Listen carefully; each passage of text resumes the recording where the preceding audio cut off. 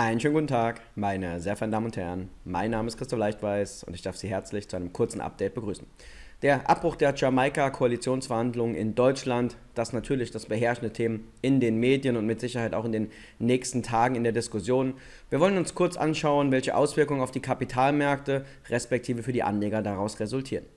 Zunächst sollten wir uns klar machen, dass die wirtschaftliche Aktivität in Deutschland momentan in vielen Bereichen auf einem historisch hohen Niveau ist. Wir sehen eine sehr positive Stimmung, wir sehen niedrige Arbeitslosenquoten, regelmäßige Umfragen unter den Wirtschaftstreibenden zeigen hervorragende Ergebnisse.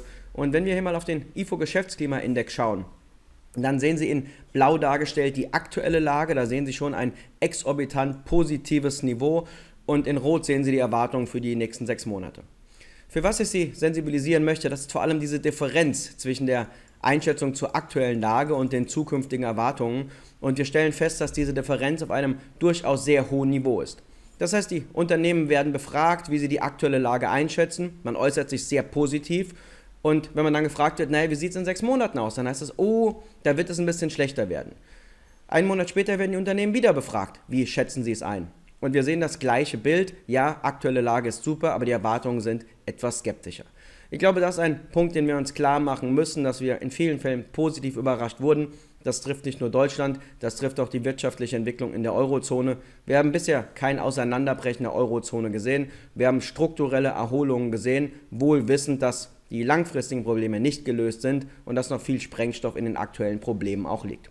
Nichtsdestotrotz, Deutschland brummt, und wenn wir uns klar machen, dass ja das alles, was wir hier finanzieren, aus den Steuern und Sozialversicherungen extrahiert wird, die, die Arbeitnehmer, die Berufstätigen, alle, die hier entsprechend zum Bruttosozialprodukt beitragen, das hier generieren, dann müssen wir ganz klar sagen, auch wenn Jamaika nicht zustande kommt und wenn wir nun über Neuwahlen diskutieren oder über Minderheitenregierung, der Wirtschaft wird das wahrscheinlich nichts haben.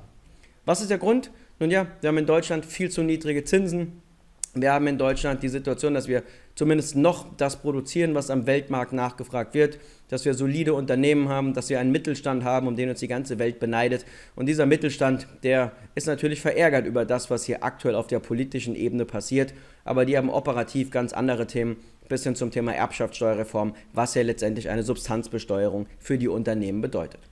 Im nächsten Schritt schauen wir mal auf das globale Umfeld und auch hier sehen Sie schon, das Wirtschaftswachstum für 2017, da sind wir wirklich auf äh, soliden Niveaus. Insgesamt die Welt naja, wächst um 3,6 Prozent.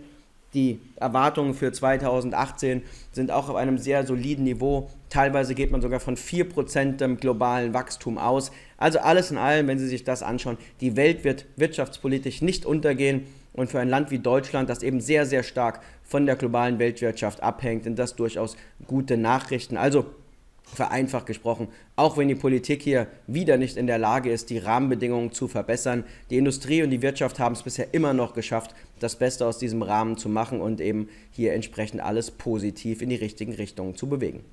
Auch die Thematik wird in der Kapitalmarkt jetzt reagiert. Nun ja, eigentlich ist nichts groß passiert am Kapitalmarkt und auch ja, Deutschland wird seine Schulden weiterhin bedienen können. Ich habe Ihnen hier mal die zehnjährige deutsche Staatsanleihe mitgebracht. Sie sehen es, die ging jetzt ein bisschen runter von der Rendite, also die Kurse gestiegen. Typisches Zeichen für eine kleine Verunsicherung. Aber schauen Sie sich die Skalierung bitte am rechten Rand an. Da reden wir immer in 0, Schritten. Also alles in allem, Deutschland ist auch weiterhin solide am Kapitalmarkt finanzierbar. Niemand muss sich Gedanken machen, dass wir auf einmal kein Geld mehr bekommen, weil die Regierungsbildung sich hier schwierig darstellt und vielleicht auch noch weiterhin vor gewissen Problemen stehen könnten. Was heißt das für Anleger am Ende des Tages? Es gibt keinen Grund, aufgrund ähm, den gescheiterten Jamaika-Verhandlungen von seiner Anlagestrategie abzuweichen. Wenn Sie eine Anlagestrategie haben, die sinnvoll hergeleitet ist, Ihren persönlichen Referenzen entspricht und die vor allem auch handwerklich sauber umgesetzt wurde, dann gibt es hier wirklich keinen Grund für Aktionismus.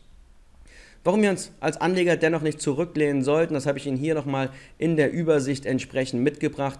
Zum einen das Thema Zinsen. Ohne Zinsen kann eine zinsbasierte Altersvorsorge nicht funktionieren. Die Schäden, die hier entstehen, respektive in den letzten Jahren entstanden sind, die haben viele noch gar nicht realisiert. Also hier heißt es wirklich, alle Produkte, die der Altersvorsorge dienen, mal auf den Prüfstand zu stellen und insgesamt die Altersvorsorgeplanung mal mit einem Update zu versehen.